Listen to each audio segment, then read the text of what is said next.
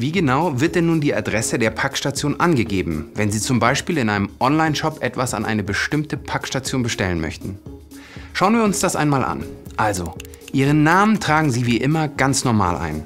Danach geben Sie Ihre persönliche Postnummer beim Adresszusatz ein.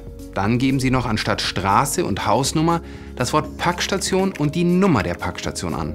Als letztes die Postleitzahl und die Stadt, in der sich die Packstation befindet. Fertig.